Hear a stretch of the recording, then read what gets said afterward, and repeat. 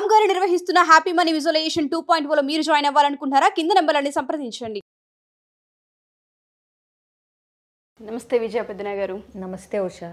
Extra marital affair husband ఎప్పుడైతే పెట్టుకుంటూ ఉంటారో ఒక కోణం వైపు నుంచి మనం మాట్లాడితే అసలు తన గురించి కంప్లీట్గా వదిలేద్దాం.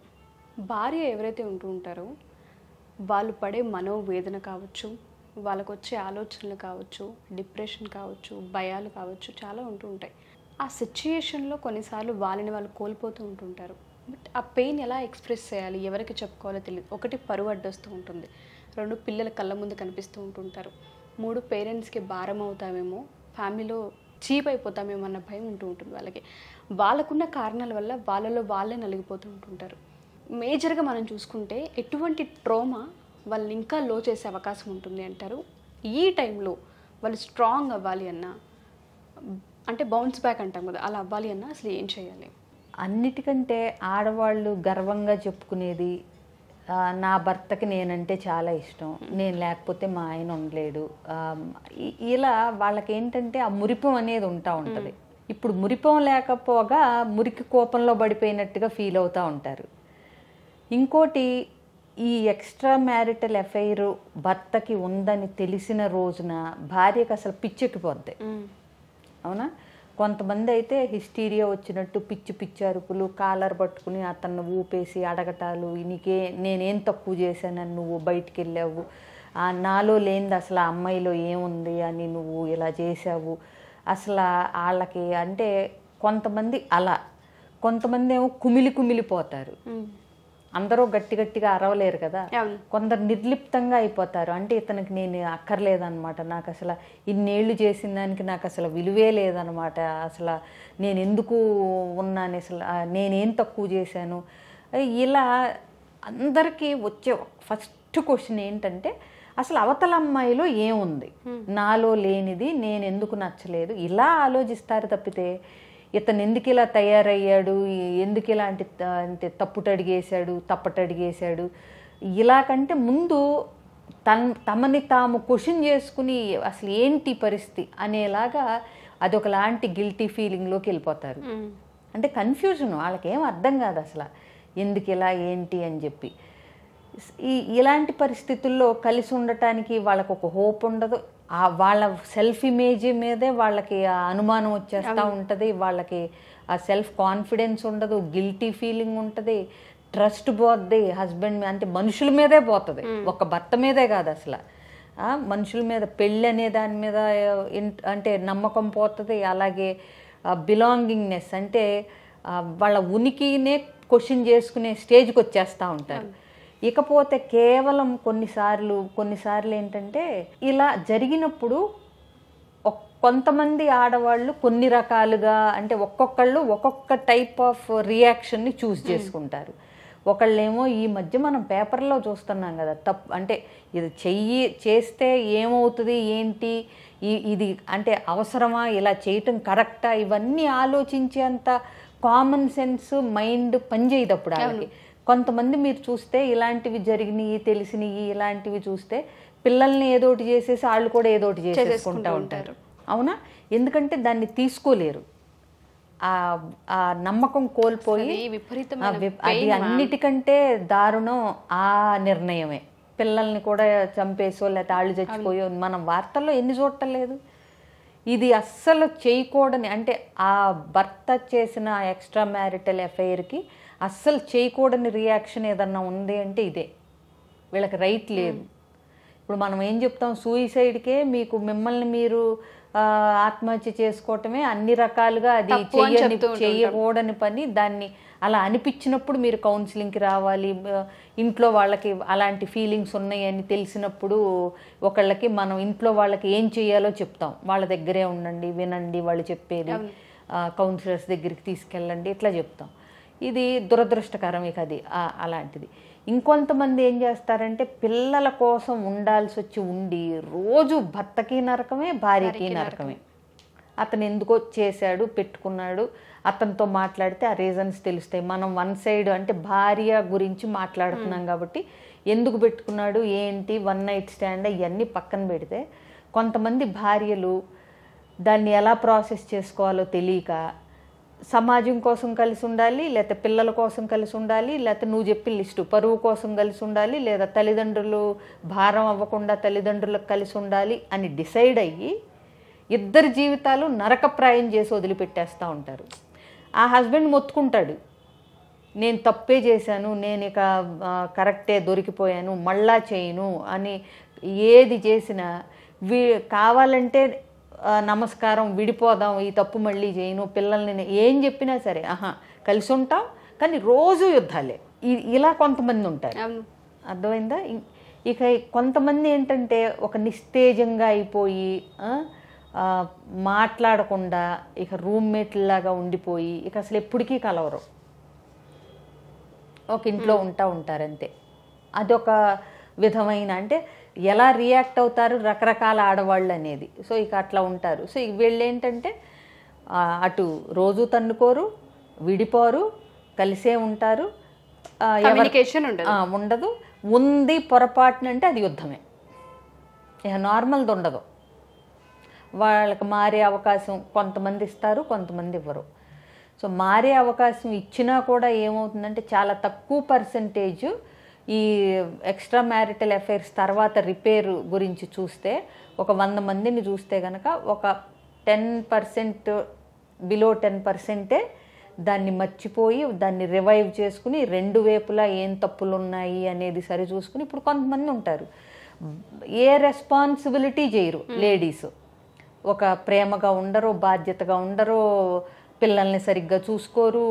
ఏదో ఉద్యోగం ఒక్కటి చేస్తున్నాము వెలగబెడుతున్నాం అని చెప్పి మిగతా అన్నీ ఇక చూసుకొని వాళ్ళు ఆ వాటితో పాటు సరే పనుల సంగతి వదిలేయండి. ఇద్దరు ఉద్యోగాలు చేస్తున్నారు కాబట్టి ఎవరినో ఒకరిని పెడితే వాళ్ళే చేస్తారు ఆ పనులేయో ఇక అసలు ప్రేమగా ఉండకపోవటం అదేంటి ఉద్యోగమే ప్రపంచం కెరియరే అన్నట్టు తయారైపోయి భర్తకు కావాల్సిన అంటే ప్రేమను అందించడం కానీ ఒకళ్ళొకళ్ళు ఆప్యాయంగా ఉండటం కానీ ఇవన్నీ మర్చిపోయేసరికి ఆబ్వియస్గా ఏమవుద్ది కొన్నిసార్లు?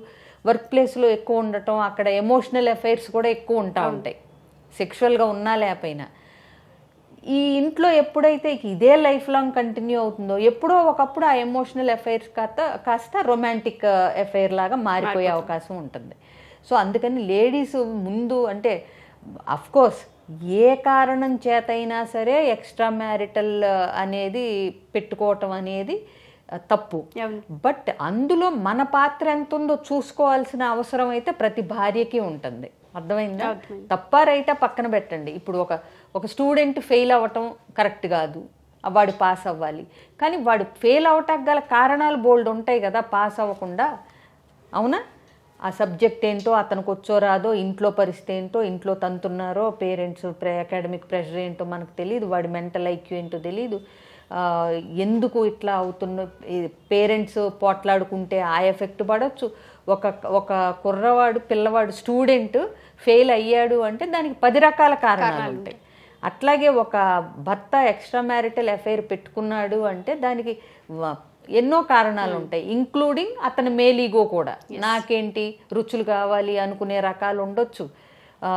ఏంటి రకరకాల ఇది లేకపోతే ఎమోషనల్ అఫైర్లు అవ్వచ్చు లేకపోతే భార్య గయ్యాలిగా అంటే ఇద్దరి మధ్య అండర్స్టాండింగ్ లేక అట్లా అవ్వచ్చు. సో ఏ కారణాల వల్ల భర్త వెళ్ళాడు అనేది కూడా మరి భార్య విశ్లేషించుకోగలగాలి. ఓకే. ఊరికే అబాండాలు వేసేసి ఇలా కాకుండా అన్నీ తను సవ్యంగా ఉన్నప్పుడు అన్నీ తను చేయాల్సినవి అన్నీ కరెక్ట్గా చక్కగా ప్రేమగా ఉండి చక్కగా బాధ్యతగా ఉండి అన్నీ చూస్తూ ఉన్నప్పుడు కూడా ఉన్నప్పుడు ఏంటంటే భర్తతో మాట్లాడి అతను వెనక్కి వచ్చే పరిస్థితి లేదు అని తెలిసిన రోజున తను ఎలా నిలబడాలి అనుకుంటుంది అన్న నిర్ణయం కూడా ఆ అమ్మాయే తీసుకోవచ్చు. కాకపోతే ఒకటి దాంపత్యంలో కానీ ఒక పెళ్ళిలో కానీ నిలబడాలి అంటే గనక ఆ ప్రేమ ఆ ఆ నమ్మకం ఆ విశ్వాసం ఇద్దరూ కలిసి పిల్లల్ని చక్కగా పైకి తీసుకురావాలి అనే ఒక కామన్ గోల్స్తో ప్రయాణం చేయాలి తప్పితే పరువు బోద్దనో అమ్మక భారమనో ఇలాంటి వాటితో ఉండేటప్పుడు అంటే relationship it is not for the correct reasons ఎప్పుడైనా ఇవాళ రేపు ప్రస్తుతం ఉన్న ట్రెండ్ ఏంటంటే ఎవ్వరు లేకపోయినా ఎవరైనా బ్రతికేయచ్చు. అలాంటిది మరి పెళ్ళి ఎందుకు చేసుకుంటున్నాం మనం? ఒక కామన్ గోల్ గోల్స్తో మనకి పిల్ల జల్ల ఉంటే కనుక వాళ్ళని కూడా మంచి పౌరులుగా తీర్చిదిద్దుతూ నీ ఎమోషనల్ నీడ్స్ నేను నా ఎమోషనల్ నీడ్స్ నువ్వు ఒక కలిసి ప్రయాణం. అవును. అన్ని రకాలుగా సెక్షువల్గా ఫైనాన్షియల్గా ఎమోషనల్గా సోషల్గా స్పిరిచువల్గా అన్ని రకాలుగా మనకంటూ మన వ్యక్తి అనే ఒక వ్యక్తి ఉండాలి అనే ఉద్దేశంతో చేసుకోవాలి తప్పితే లేదంటే ఎవరి కాళ్ళు ఉండాలంటే ఎవరి ఉద్యోగం వాళ్ళకు ఉంటుంది ఎవరి ఇండిపెండెన్స్ వాళ్ళకు ఉంటుంది. చేసుకోపోయినా పర్లేదు. ఇలా గనక పక్క చూపులు చూస్తాను పెళ్ళైనాక నాకు ఇలా హో ఏంటి? ఇంటి ఫుడ్ ఉన్న హోటల్ ఫుడ్ కావాలి. ఈ మధ్య అందరి ఇదో డైలాగు. వెరైటీలు. ఇంట్లో ఫుడ్ మనం చేసుకున్న అప్పుడప్పుడు బయట తినవా? ఇలాంటి ఇలా వెనకేసుకొచ్చుకునే వాళ్ళు తమని తాము సమర్థించుకునే వాళ్ళు కూడా ఉన్నారు. ఇవన్నీ కాదు నువ్వు కమిట్మెంట్తో భార్య భర్త ఉంటాము. అక్కర్లేని రోజు పక్కకి వెళ్ళాలనుకున్న రోజు మళ్ళీ చెప్తున్నాను. చక్క లీగల్గా విడిపోయి దర్జాగా నీకు కావాల్సిన వాళ్ళని పెళ్ళి చేసుకోవచ్చు లేకపోతే ఉండొచ్చు. ఇవాళ రేపు లివిన్ కోహాబిటేషను కో లివింగ్ రకరకాల పేర్లు పెడుతున్నారు కదా ఎట్లా అయినా ఉండొచ్చు మీరు. సైకలాజికల్గా దెబ్బతినే అవకాశం చాలా ఎక్కువగా ఉంటుంది వైఫ్ కాబట్టి. ఏ కారణాల వల్ల వెళ్ళారన్నది తెలుసుకోవడం ఫస్ట్ ఇంపార్టెంట్. బట్ అక్కడున్న సిచ్యుయేషన్లో కొన్నిసార్లు ఓవర్లాప్ అవ్వచ్చు కొన్నిసార్లు మనస్తాపానికి గురి అవ్వచ్చు. అలా ఎవరైతే డిప్రెషన్లో డిప్రెషన్లో మనం అనుకున్నాం కదా డిప్రెషన్లు సూయిసైడ్లు బోల్డ్. ఎవరైతే ఈ ప్రాబ్లం ఫేస్ చేస్తూ ఉంటుంటారో కారణాల వల్ల కొంతమంది బయటికి చెప్పుకోలేరు. అవి మనం ఇందాక మాట్లాడుకున్నట్టుగానే ఫ్యామిలీ పేరెంట్స్ పరువు సమాజం ఇలా చాలా ఉంటాయి పిల్లలు. ఒకసారైనా సరే ఆలోచించి మూవ్ అయ్యే ఛాన్స్ రావాలి అంటే వాళ్ళు ఎక్కడో అక్కడ ఓపెన్ అవ్వాలి. ఫస్ట్ ఒక ఐడియాకి రాగలగాలి తెలుసుకోగలగాలి కూర్చొని మాట్లాడగలగాలి దాని గురించి ఆలోచించగలగాలి. ఆలోచించాలి. ఎందుకంటే అందరికంటే అఫ్ కోర్స్ భార్య పరిస్థితి కూడా చాలా ఇబ్బందికరంగా బాధగా ఉంటుంది. కానీ ఈ గోళల్లో అందరికంటే సఫర్ అయ్యే ఒక అమాయక ఉన్నారు అంటే పిల్లలు. ఎస్ సో పిల్లలు ఉన్నప్పుడు ఇలాంటివి చేసి బయటపడి వీళ్ళు గొడవ గొడవ చేసి రచ్చ రచ్చ చేసుకుని దాన్ని ఎలా డీల్ చేయాలో తెలియక అసలు ఇక అదొక రచ్చ రచ్చ కింద చేసినప్పుడు అందరికంటే ఎక్కువ ఎఫెక్ట్ అయ్యేది పిల్లలు. సో వాళ్ళ చిన్న మనసుల మీద ఎట్లా ఎఫెక్ట్ పడుతుంది అనేది ఇక ఇక వాళ్ళ పర్సెప్షన్ బట్టి వాళ్ళు ఎట్లయినా తయారవుతారు. సబ్స్టెన్స్ అబ్యూజులు కానీ వాళ్ళు కూడా ఇలా ఇర్రెగ్యులర్గా ఉండటం కానీ ఇష్టం వచ్చినట్టు ఉండొచ్చు అనేది నేర్చుకోవటం కానీ లేకపోతే తల్లి బాధ చూసి బాధపడి అసలు పెళ్ళిళ్ళు చేసుకోపోవటం కానీ సేమ్ తండ్రి ఎక్స్ట్రా మ్యారిటల్ అఫైర్ పెట్టుకుని తల్లి విడిపోతుంది డివోర్స్ తీసుకుంటారు. ఆ ఇద్దరు ఆడపిల్లలు వాళ్ళకి వాళ్ళు ఇవాళ వరకు పెళ్ళి చేసుకోవాలి బా ఆ ఎఫెక్ట్ చూడండి. ఆ ఎఫెక్ట్. పిల్లల మీద. అదే అంటుంది పిల్లల యొక్క సెన్సిటివిటీని బట్టి వాళ్ళు ఏ నిర్ణయం అయినా తీసుకుంటారు ఇప్పుడు ఆ ఇద్దరు ఆడపిల్లలు ఇద్దరూ పెళ్ళి చేసుకోలేదు ఒక్కళ్ళు కూడా కాదు. ఇద్దరి మైండ్ సెట్ ఆ విధంగానే గ్రో అయింది. అయింది. ఈ తల్లి పడిన తండ్రి ఆ తప్పు చేయటం వల్ల ఎక్స్ట్రా మ్యారిటల్ అఫైర్ ఉండటం వల్ల తల్లి పడిన వేదన చూసి డివోర్స్ తీసుకుని ఇద్దరిని ఆ తల్లే ఒంటి చేత్తో పెంచిన విధానం చూసి వాళ్ళిద్దరూ ఇలా ఉండే కాడికి ఈ మాత్రం దానికి పెళ్ళెందుకు? నువ్వు నేను బాగానే ఉన్నాం కదా మన ముగ్గురం. హ్యాపీగా ఇలాగే ఉంటామని ఒకళ్ళు మళ్ళీ సీఏ ఒకళ్ళు లాయరు మంచి మంచి పోస్టులు మంచి మంచి జీతాలు కానీ వాళ్ళిద్దరు పెళ్ళి రిలేషన్షిప్ రిలేషన్షిప్ పైన నమ్మకాలు లేవు నమ్మకాలు లేవు. సో మీరు అన్నట్టుగానే ఇలా చాలా దెబ్బతినే అవకాశం ఉంటుంది. పిల్లలు కావచ్చు వైఫ్ Exactly. వాళ్ళు మూవ్ అవ్వాలన్నా ఫస్ట్ ఒకసారి మనతో మాట్లాడాలన్నా కౌన్సిలింగ్ తీసుకునే అవకాశం ఉంటుందా మనం?